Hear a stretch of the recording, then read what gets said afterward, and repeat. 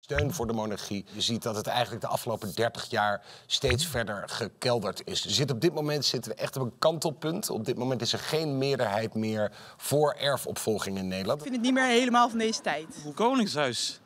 Een kostenpost. Wat wij voor de rechter willen bevechten is de, de macht die onze koning heeft.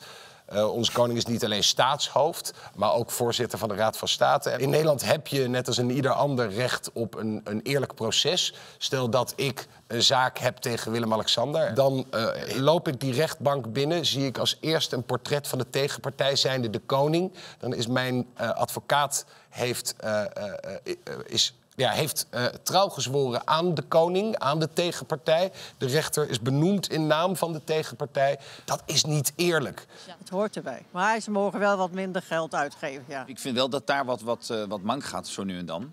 Maar dat vind ik meer, uh, zeg maar, de, de, de, de uitvoering van het uh, ambt dan de, het bestaan van het Koningshuis. Want ik denk dat dat eigenlijk wel een gezegende situatie is voor Nederland. Dit stelsel zoals we dat nu nog hebben, uh, waarbij we zeggen ons staatshoofd die wordt alleen geboren uit één familie. Die kan je ook niet controleren, die kan je niet naar huis sturen. Dat klopt niet meer, dat hoort niet meer bij deze tijd.